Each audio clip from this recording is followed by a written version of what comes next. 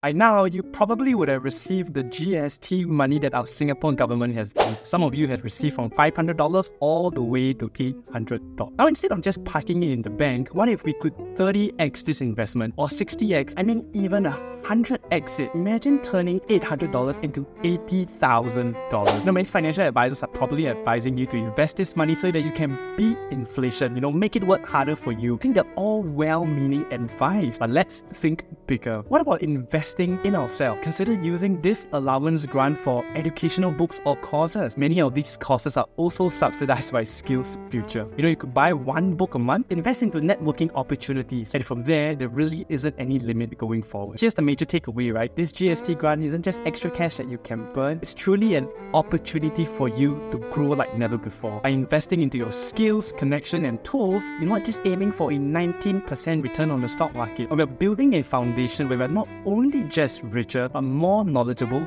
connected, and equipped to seize any opportunities there is outside. Why not let's make this money work harder for you in ways that investing simply